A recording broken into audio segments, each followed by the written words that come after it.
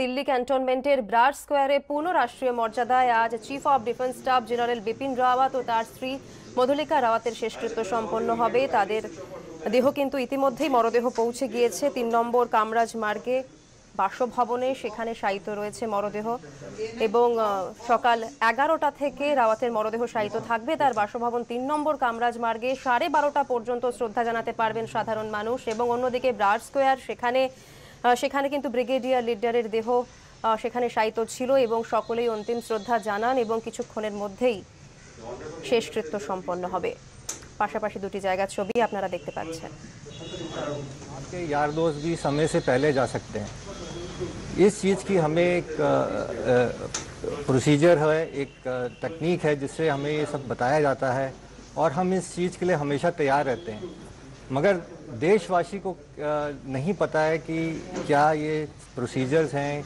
क्या ये तरीके हैं। मगर हमें आगे बढ़ना है। हम यहाँ रुक नहीं सकते। मगर ये मत सोचिए कि हम परिवार को पीछे छोड़ जाएँगे। परिवार को भी आगे लेके साथ में चलेंगे। किसी को पीछे नहीं छोड़ा जाएगा। उनकी यादों को बरकरार रखा जाएगा। उनके काम को बरकरार रखा जाएगा। और उनकी शहादत को भी याद किया जाएगा हमेशा के लिए।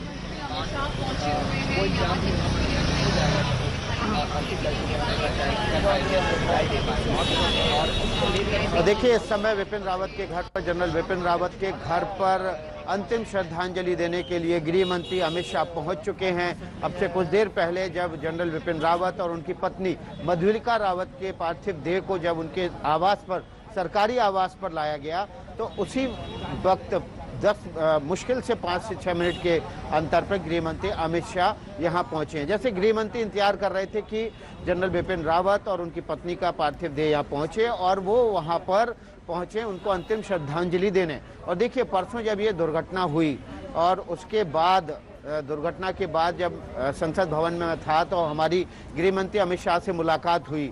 और उस बातचीत में गृह मंत्री अमित शाह बहुत ज़्यादा दुखी थे और उनके साथ जो पिछले तीन चार सालों में जो इंटरेक्शन था गृह मंत्री बनने के बाद से लगातार जो इंटरेक्शन हुआ जनरल बिपिन रावत से उस दौरान उन्होंने पाया कि जनरल बिपिन रावत बेहद ही जावाज साहसी ऑफिसर हैं और इस बात को उन्होंने वहाँ पर कहा कि देश का एक बहुत बड़ा नुकसान हो गया। एक ऐसा ऑफिसर खो दिया हमने जो दशकों में पैदा होते हैं। देखिए देश में जो जवान है जो सैनिक है जो से, अ, सेना नायक है वो अदम्य साहस के धनी होते हैं लेकिन दूरदर्शी सेना नायक जो है वो सेना को और देश को जब आपातकाल होता है तो वो अलग खड़ा कर देते हैं वो एक लंबी लकीर खींच देते हैं जो आने वाले सालों में उस लकीर को देखकर उस उदाहरण को देखकर तमाम सेना सैनिक और सेना नायक सीखते हैं ऐसे सेना नायक थे सीरियस जनरल बिपिन रावत तो আপনারা দেখতে পাচ্ছেন যে আহ, তিন নম্বর কামরাজ মার্গে জেনারেল বিপিন রাওয়াতের বাড়িতে কিন্তু পৌঁছে গিয়েছেন অমিত শাহ। তিনি অন্তিম শ্রদ্ধা জানাচ্ছেন।